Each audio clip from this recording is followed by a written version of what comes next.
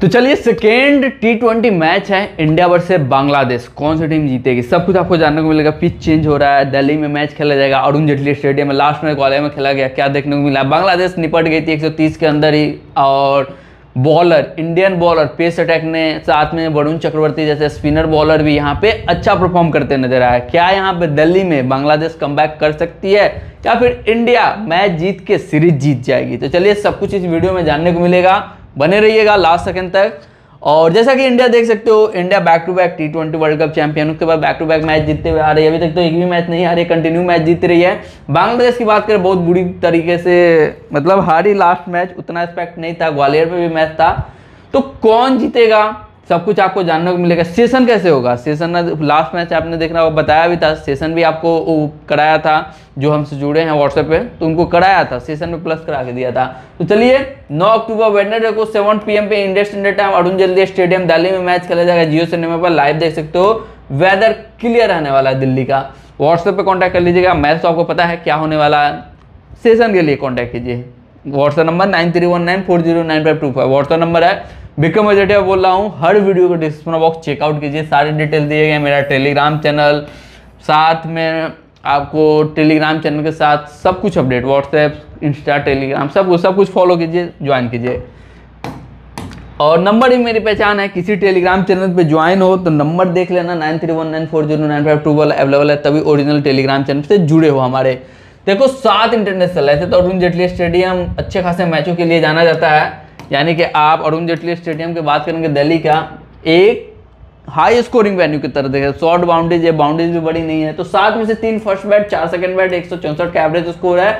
दो सौ इंडिया ने बनाया है, श्रीलंका एक सौ बीस बनाई है। स्कोरिंग बटन बिलो 150 30 में, तीन मैचों में 150 पचास उनहत्तर, एक मैचों में 170 से नवासी एक मैचों में अबव 190 दो मैचों में। India 211 highest chase South Africa इस पिच पे की है। इंग्लैंड 142 लोएस्ट डिफेंड है। अब पिच कैसा बिहेव कर देखो शॉर्ट बाउंड्रीज है बाउंड्री दिल्ली का कोई बड़ा बाउंड्री नहीं है। एवरेज बाउंड्री है यहाँ पे, और शॉर्ट बाउंड्रीज है। एवरेज बाउंड्री नहीं बहुत छोटी बाउंड्री है।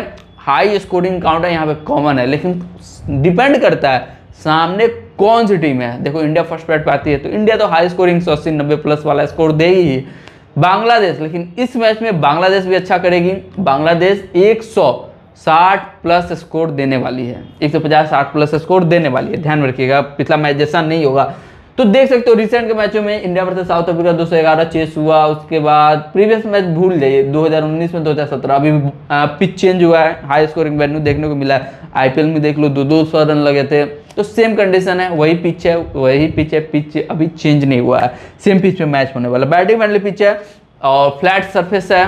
और ड्यू फैक्टर तो आएगा ही ड्यू फैक्टर दिल्ली में भी आ रहा है। तो दिल्ली में आने की वजह से थोड़ा सेकेंड बैट को एडवांटेज मिलेगा। जो भी टॉस विनर होगा, यहाँ पे आसानी से और आसानी से यहाँ पे टॉस विनर सेकेंड बैट को सिलेक्ट करेगा। ध्यान में रखिएगा, बांग्लादेश सेकेंड बैट पे आती है तो सेकेंड बैट पे आती है तो अगर स्कोर 170 बिलो रहेगा तो चेस करके चली जाएगी। इंडिया का स्कोर तो बांग्लादेश चेस करके चली जाएगी, जीत सकती है। हेड टू हेड बात करेंगे। टोटल 14 में से 13 इंडिया एक तरफा है। 14 में से 13 मैच, एक बांग्लादेश ने चेस करके जीता है। वो भी बांग्लादेश की बात करेंगे। Bangladesh, India versus Bangladesh continue last पाँच मैच तो पाँच तो इंडिया ने जीता है। अब बात करेंगे हेड टू हेड इस वेन्यू पे। एक मैच बांग्लादेश वर्सेस हुआ है। बांग्लादेश इसी पिच पे जीती है। 148 चेस करके। बहुत पुराना मैच है। उस वक्त 2019 का मैच था। और उस वक्त विराट कोहली कैप्टनसी कर रहे थे तो उस समय बांग्लादेश जीती थी। 148 चेस करके अरुण जेटली स्टेडियम में ये रिकॉर्ड है। इसी पिच पर इसी पिच पे बांग्लादेश जीती है। Recent form back to back continue clean sweep सारे टीम से जीत के आ रही है इंडिया बांग्लादेश की बात करेंगे, तीन मैच हार के आ रही है। लास्ट मैच भी हारी, एक सीरीज़ हारी है।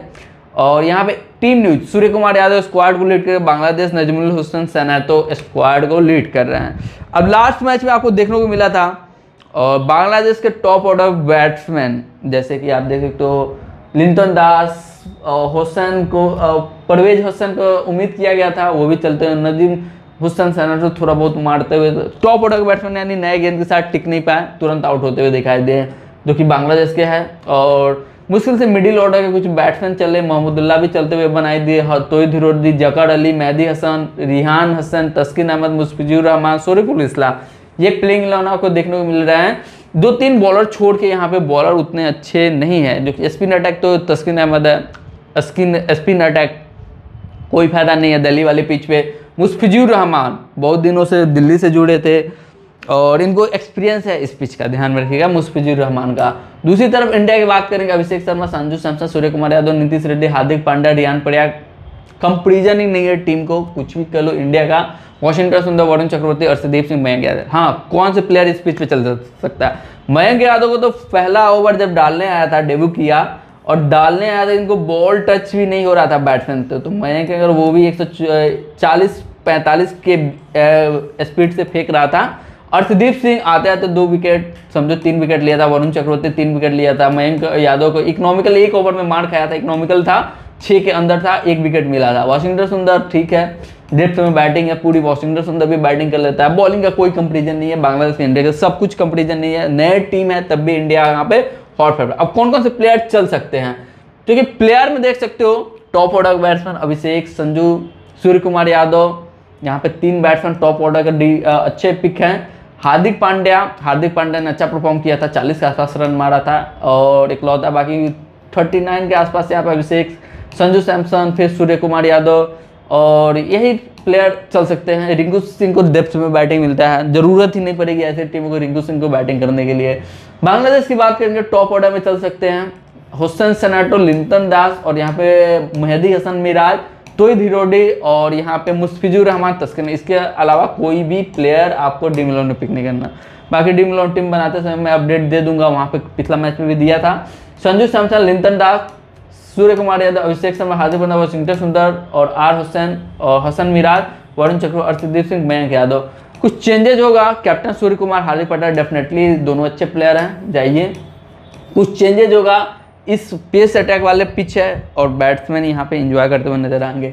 कुछ चेंजेज होगा। फैंटासी ग्रो नाम से Telegram channel link description box में दिया गया है। ज्वाइन कर लीजिएगा। अब सेशन इंपॉर्टेंट बात है सेशन कैसे करोगे? देखो इंडिया का तो सेशन तो कहीं जाने वाला नहीं है। आपको 45 के आसपास यस होने वाला है। नोट करते चलो। इंडिया का सेशन पाँच ओवर छः ओवर छः ओवर की बात करेंगे। पैंतालीस आसपास यस बिलो मिल जाए तो यस करके चलना। दस ओवर फ़र्स्ट बैट पे आती है। अस्सी बिलो यस करके चलना। पंद्रह ओवर एक सौ पंद्रह बिलो यस करके चलना।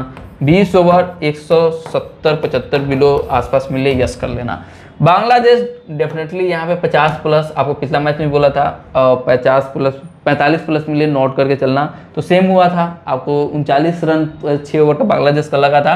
तो सेम यहाँ पे सैंतालीस प्लस नोट करके चलना पाएँगे थोड़ा बैटिंग फ्रेंडली पिच था, इसलिए थोड़ा बढ़ा रहा हूँ। दस ओवर यहाँ पे बिलो एबव सत्तर पचहत्तर नोट करके चलना था एबव पचहत्तर मिले तो।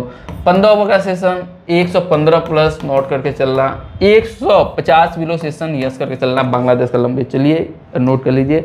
और चलिए व्हाट्सएप नंबर सेव कर लीजिए, बाकी कांटेक्ट कर लीजिएगा, हर वीडियो के डिस्क्रिप्शन बॉक्स चेंजेज होते हैं सेशन नहीं ये नहीं कि यही जाएगा। आपको कुछ चेंज होते हुए दिखाई देंगे तो चेंज होने के लिए व्हाट्सएप पे पिच चेंज होता है पिच के स्लो विकेट पे हो जाए दो तीन तरह का दिल्ली में पिच यूज़ होता है, ध्यान रखिएगा। तो व्हाट्सएप नंबर सेव कर लीजिएगा।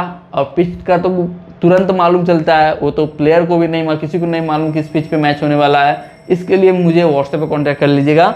हर वीडियो के डिस्क्रिप्शन बॉक्स में टेलीग्राम चैनल का लिंक दिया गया है। ज़रूर ज्वाइन कीजिए आपके बेनिफिट के लिए। मिलते हैं आपसे अगले वीडियो में। कमेंट बताइए कौन सा टीम जीतने वाली है।